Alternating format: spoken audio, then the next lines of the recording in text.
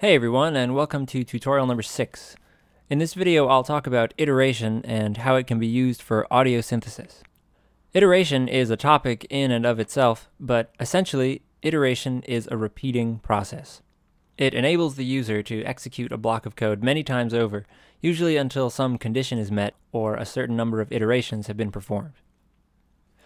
It's very common to iterate over a collection of items, and by this I mean you take a collection and one by one pass the individual items into a function as input arguments. In the class library, there's an object called collection, which is the parent of many useful subclasses, listed here at the top. There's also a file called collections that outlines the subclass hierarchy. One of these subclasses is array, which we're already sort of familiar with. Back in the collection help file, we can do a search for the word iteration, which takes us to a list of relevant methods. There are actually quite a few, but the most generalized method is called do, which simply evaluates a function for each item in the collection. To iterate over a collection, we first need to create a collection. So here's an array of several numbers, and to iterate over this array, we'll send it the message do and provide a function. I'll keep things fairly simple and just print hello for each iteration. Because there are five items in the array, we see the word hello five times. We also see the original array in the post window, and this is because do always returns its receiver. Uh, this is usually irrelevant, and it's probably best to ignore this or just think of it as a side effect of using do. More importantly, you might have noticed that the same result would have been produced from an array of any five items, so this is not a particularly instructive example. In many cases, you'll want to incorporate somehow the collection's items into the function. Uh, for example, if you have a list of 200 file names, you might want to change the extension on all of these file names. And this is where the real strength of iteration comes into play. To pass items into a function, we declare an input argument whose value will range over the contents of the collection. In this particular function, we're going to square each item and post the result. In some cases, you might also want to keep track of how many times the function has been evaluated, uh, or in other words, how many iterations have occurred. This is done by adding a second argument to the function, like this. Now, uh, on each iteration, I'll instead post an array containing the current number of iterations and the current item squared. You might notice that we're not actually storing the results of this data manipulation anywhere, we're just posting information. Using do, if you'd actually like to return and store a modified collection, you'd have to change this array explicitly within the function. First, it's probably a good idea to create a new empty array to hold our resulting calculations, since uh, it's generally risky and perhaps undesirable to overwrite data. The function squares every item in the array and stores each result at the corresponding index in the array x. The last evaluated statement in this clump of code is a do statement, which, as we've seen, returns its receiver, but sure enough, if we query the global variable x, we can see that it is the collection of our new data. But do isn't the best method to use for something like this. It's much easier to use a method called collect, which returns a new collection instead of just returning its receiver. While we've explicitly stored new data in the function above, collect does this automatically, so all we'd have to do is type this. And for anyone out there who has a sweet tooth for syntactic sugar, you can even use this condensed underscore notation.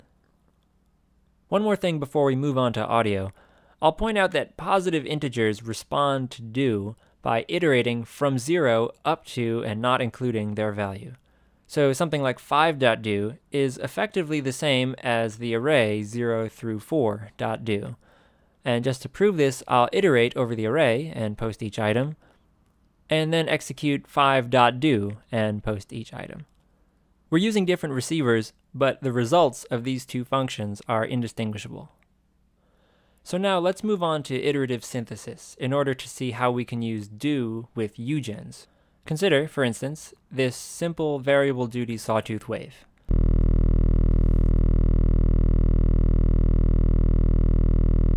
It's nice, but, uh, you know, it's not particularly interesting or anything. But with iteration, we can layer many of these sounds together to create something much richer.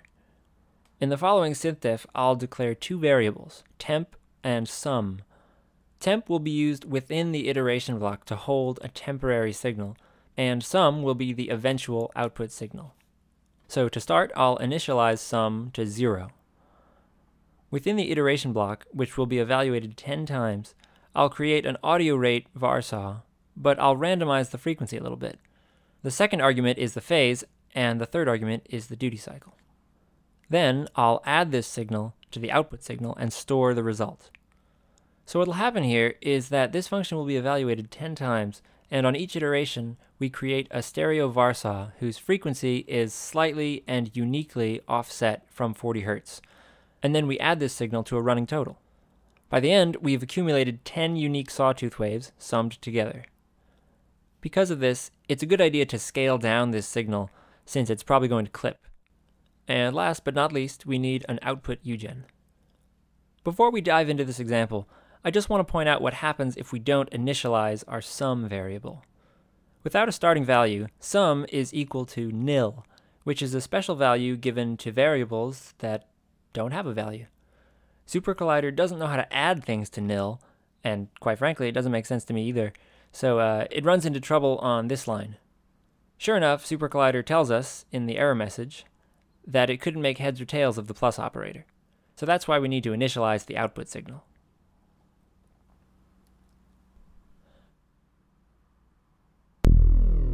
Right off the bat, this sounds a lot more interesting than the single Varsaw. Uh, but as you might have heard, there's a huge pop at the beginning of this sound. And it's pretty ugly. Uh, and that's because all these Varsaws have the same initial phase offset, zero. So if we randomize the phase as well, we can smooth out the sound a bit.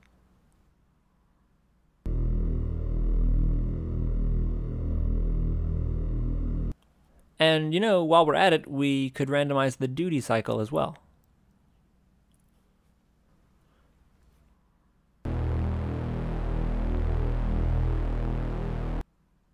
I'm going to throw a done action too on this synthdef so that I don't have to worry about freeing these synths anymore.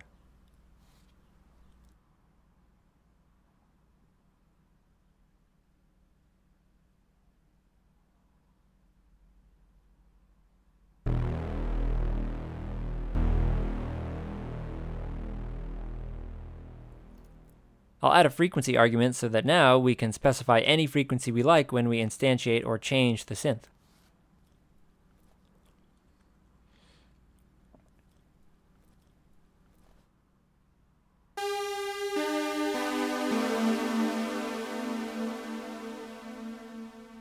If you prefer, you can deal in MIDI note numbers using the conversion method MIDI CPS.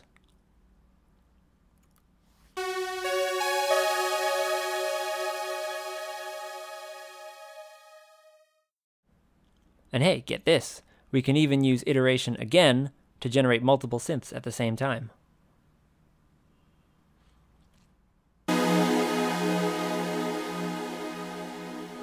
Although, to be honest, I would generally not recommend using language side looping and iteration, such as do, to create simultaneous synths, since you run the risk of losing sample accuracy if you're using a lot of complicated or heavy duty UGens. But as you heard, even if these four synths aren't technically simultaneous down to the sample level, it still sounds pretty damn close. Here is another example. Unlike the previous synthdef, this time, I'll actually incorporate the iteration count into the audio manipulation. So I'll define an argument within the iteration block, I'll call it count. Notice that I don't actually need a second argument for the iteration count, because when using integer.do, the items in the collection and the iteration count are actually the same stream of numbers, so using two arguments is actually redundant. I'll create an overtone of a fundamental pitch by multiplying the frequency by the iteration count. I have to add 1 because the iteration count starts at 0, and we don't want an oscillator with a frequency of 0 Hz. The rest of the example is no different from the previous example.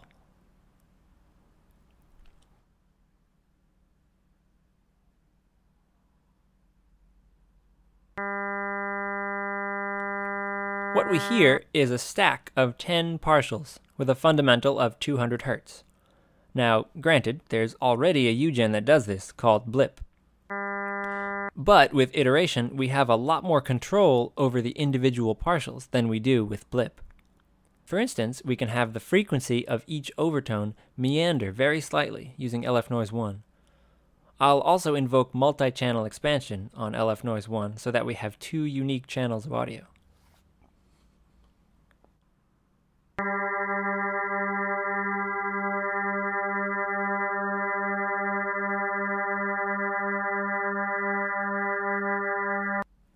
We can add another statement within the iteration block to have the amplitude of each partial fluctuate randomly.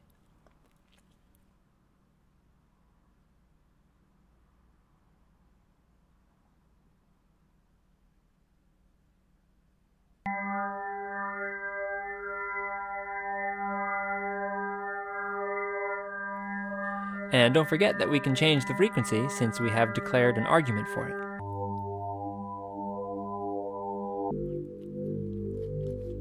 Maybe you'd want to control the amount of frequency deviation in addition to frequency.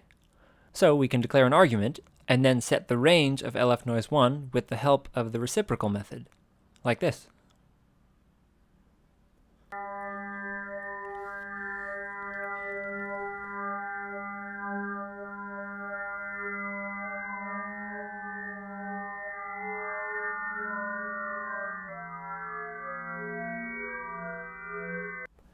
Here's a problem you might run into. Let's say we want even more partials. One natural instinct is to replace the integer receiver of do with an argument so that we could theoretically change it just like we change the frequency or frequency deviation. But this doesn't work, as you can hear from this strange result, and I'll tell you why.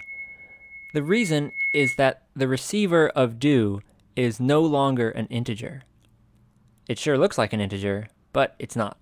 It's actually an instance of a class called control, which is a type of UGen that SuperCollider creates automatically whenever you declare an argument in a synthdef. The key fact is that control is not a collection. It's just one thing. So when we iterate over a control, the control just passes itself into the function once. Uh, in this case, the actual output value of the signal is the default value 10, so 10 plus 1 is multiplied by the fundamental frequency, 200 hertz, and then there's some slight frequency deviation. So what we end up hearing is basically just a 2.2 kilohertz tone. Just to prove this, I'll start up the sound again, and uh, I'll set the argument num equal to some different floating point values, just to show that it serves no other purpose than as a frequency multiplier. So uh, in that example, there's really no iteration happening at all. Changing the number of iterations in a synthdef in real time essentially boils down to changing the code in a synthdef in real time, which, from what I understand about how SuperCollider is designed, is pretty much impossible. So the best way to change the number of partials, or the number of iterations in a synthdef, is to just manually change the iteration receiver, and then reevaluate the synthdef.